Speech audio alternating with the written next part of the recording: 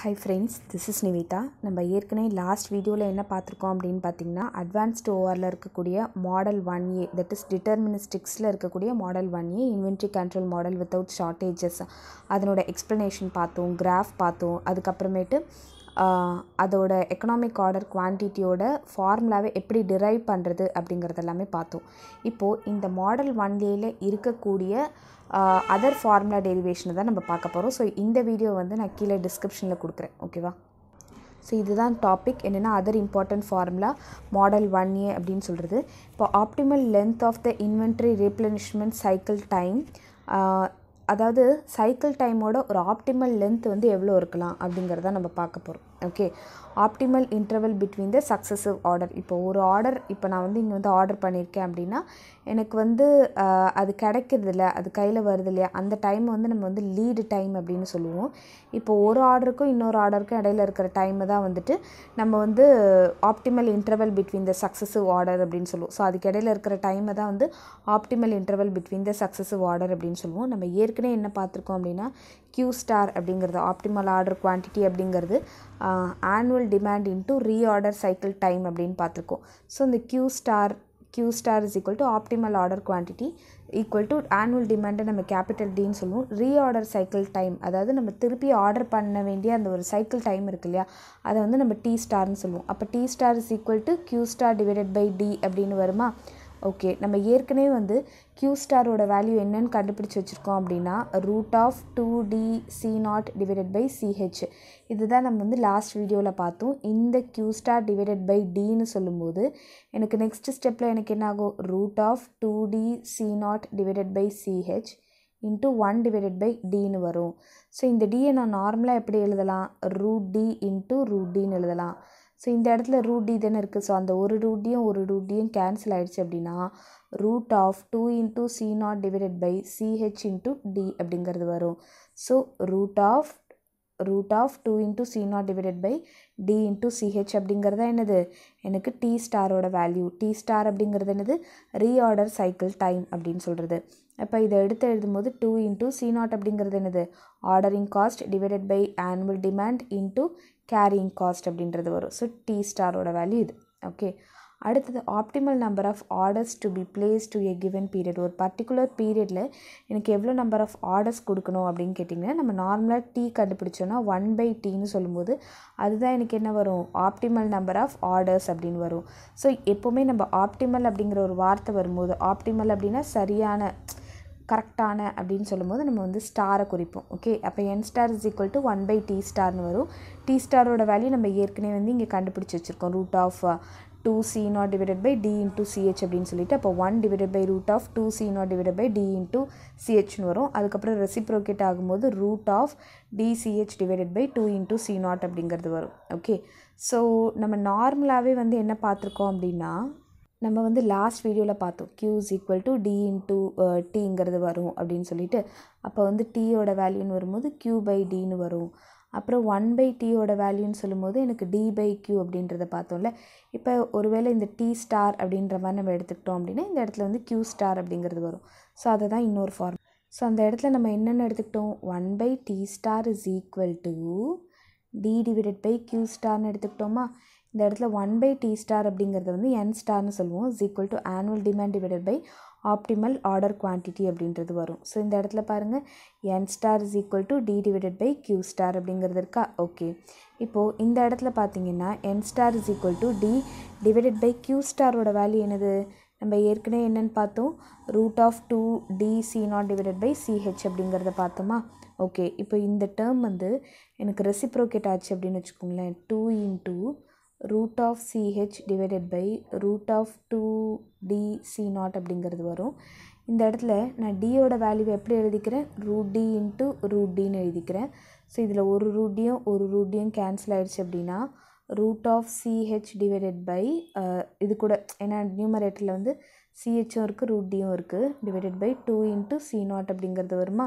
So அதுதான் வந்து இங்கே எழுதியிருக்காங்க. D into CH divided by two into C naught அப்படிங்கிறது. எல்லாமே ஃபார்முலாவை டெரி டெரைவ் தான் பண்ணுறாங்க ஓகேவா நமக்கு தெரிஞ்ச அந்த கியூ ஸ்டார்லேருந்து எல்லாத்தையுமே டிரைவ் தான் பண்ணி கொண்டு வந்திருக்காங்க.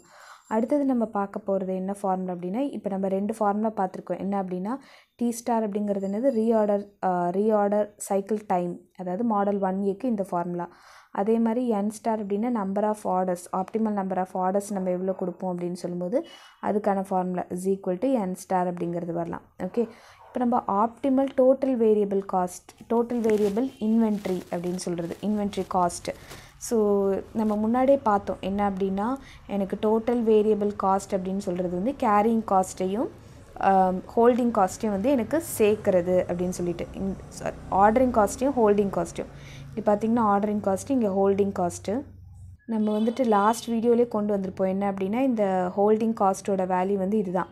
தட் இஸ் க்யூ ப்ளஸ் ஜீரோன்னு இருக்குது அதை நம்ம க்யூன்னு எழுதிக்கலாம். Q into CH divided by டூன்னு வரும். அதுக்கப்புறமேட்டு இங்கே இருக்கிற ஆர்டரிங் காஸ்ட் அப்படின்னு சொல்லும்போது plus D by Q into C naught so அதை பேஸ் பண்ணி இந்த இடத்துல ஆப்டிமல் அப்படின்றது வார்த்தை வந்திருக்கனால க்யூ ஸ்டார் க்யூ ஸ்டார் அப்படிங்கிறது வந்து அப்ளை பண்ணியிருக்காங்க. ஓகேவா ஸோ அதுக்கப்புறம் பார்த்தீங்க அப்படின்னா D divided D into C naught divided by Q Stark பதிலாக என்ன போடலாம்? Root of two D C naught divided by CH plus இந்த இடத்துல என்ன ஆகும் சிஹெச் பை டூங்கிறது வரும். இது கூட க்யூ ஸ்டாரை மல்டிப்ளை பண்ணும்போது into root of two D C naught divided by CH அப்படிங்கிறது வருமா?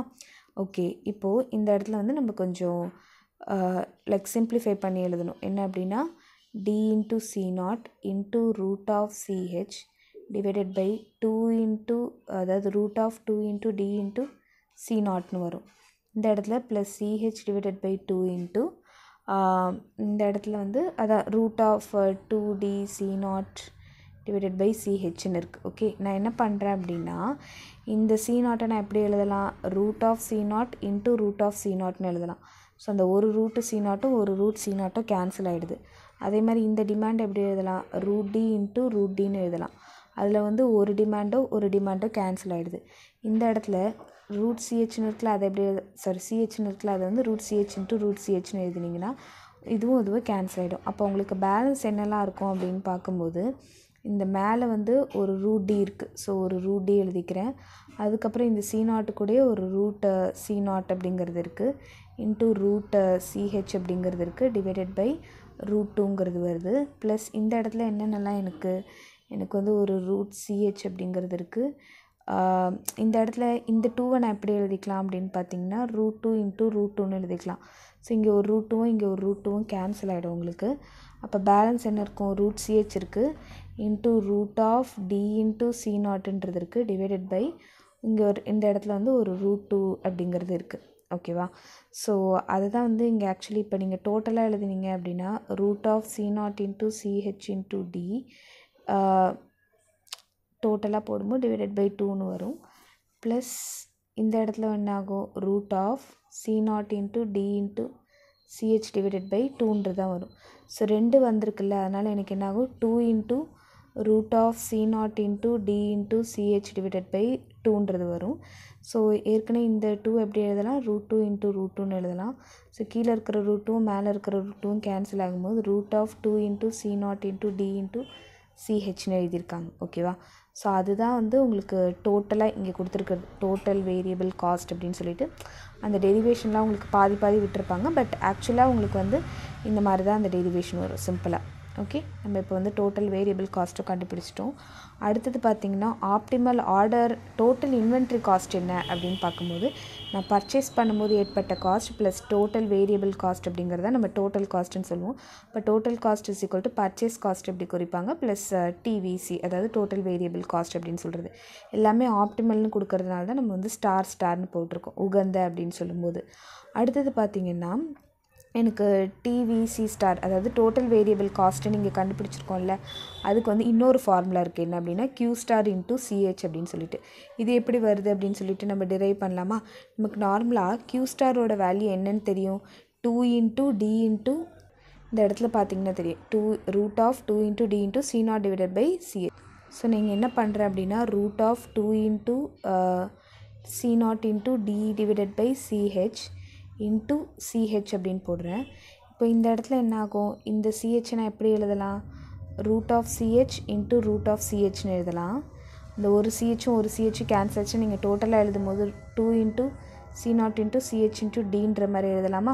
ஸோ அதுதானே இங்கே இருக்குது அதனால் டோட்டல் வேரியபிள் காஸ்ட்டுக்கான இன்னொரு ஃபார்முலா தான் இதுன்னு சொல்லியிருக்காங்க. ஓகேவா ஸோ ஆஃப்டர் தட் உங்களுக்கு வந்து டோட்டல் வேரியபிள் காஸ்ட்டுக்கு வந்து இன்னொரு ஃபார்முலாவும் இருக்குது நம்ம முன்னாடி டிரைவ் பண்ணோன்னு சொன்னோம்ல carrying cost plus ordering cost அப்படின்னு சொல்லும்போது Q divide by two into CH plus D by Q into C naught இதே வந்து டிவிசி ஆஃப் கியூ ஸ்டார்னு சொல்லும்போது உங்களுக்கு ஆப்டிமல்னு சொல்லும்போது கியூ ஸ்டார்னு வரும். நார்மலாக ஆர்டர் குவான்டிட்டின்னு சொல்லும்போது உங்களுக்கு கியூ அப்படிங்கிறது வந்திருக்கும். அவ்வளோதான் ஆக்சுவலி அந்த டோட்டல் வேரியபிள் காஸ்ட் வந்து நம்ம ஏற்கனவே வந்து டெரைவ் பண்ணி வச்சுருக்கோம் நம்மளோட ஃபஸ்ட் வீடியோவில் ஸோ தேங்க்யூ ஃபார் வாட்சிங் இந்த வீடியோ உங்களுக்கு பிடிச்சதா லைக் பண்ணுங்கள் ஷேர் பண்ணுங்கள் சப்ஸ்கிரைப் பண்ணி சேனல் தேங்க்யூ